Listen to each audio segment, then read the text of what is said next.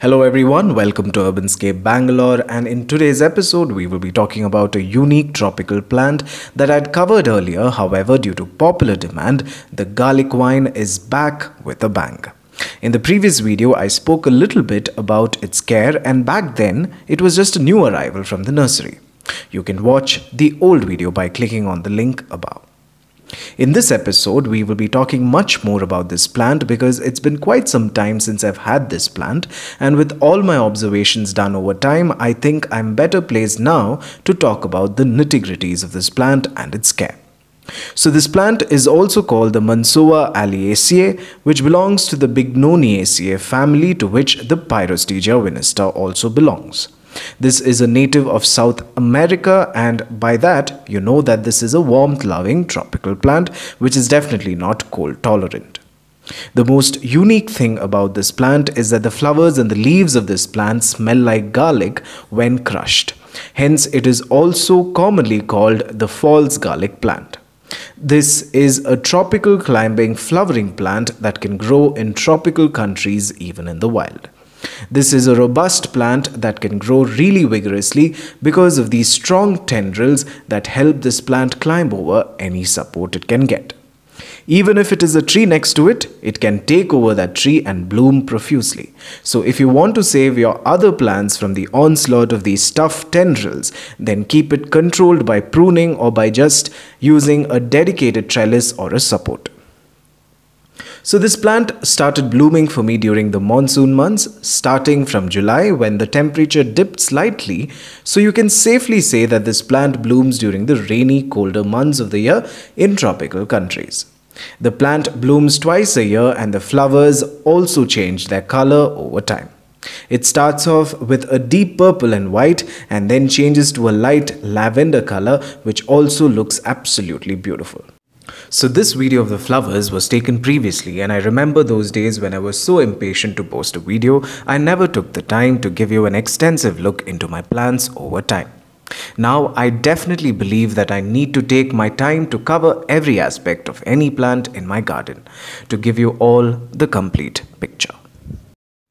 Now talking about its uses, the flowers and the leaves of this plant are used in certain cuisines as a substitute for garlic.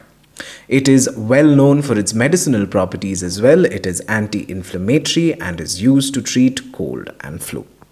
So this plant that you see here has finished blooming and it's time to repot this into a bigger container. You can see how big and vigorous this has grown in this tiny container. So you can imagine how big this could grow in a big container or if grown in the ground. And look how the tendrils have tightly held onto this poor plant that I had to cut off this part and then remove it from its stranglehold.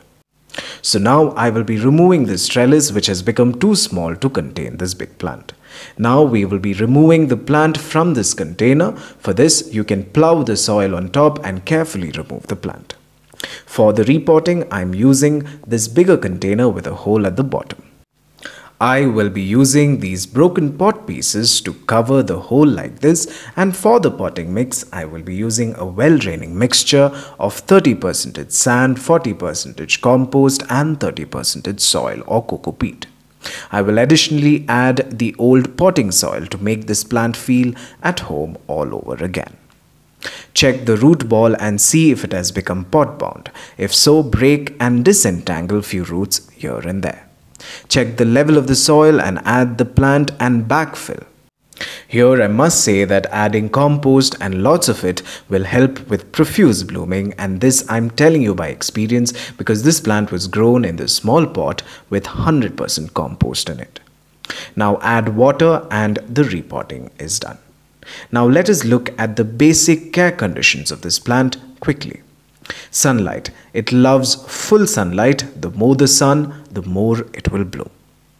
Watering, if well established, it can tolerate some amounts of dry spell, but I would suggest you water this plant every day since it is quite a thirsty plant. Fertilize it with compost during the summer months to get more blooms. I don't see a lot of pests on this plant, maybe because it has that garlicky smell that repels most pests. This can be propagated with the help of stem cuttings. And the most important thing to remember is to give this plant a support in the form of a trellis, a fence, or like I've used here, a twine thread that I've tied onto my terrace, hoping that it would grow taller and stronger, giving me those blooms that can leave us all spellbound. Another top tip is that if given a trellis, this can grow bigger very soon. So, with this, we have come to the end of yet another episode of Urbanscape Bangalore. So, if you like this video, then please like, share, and subscribe. Also, do not forget to follow me on Instagram and Facebook. The links are given below.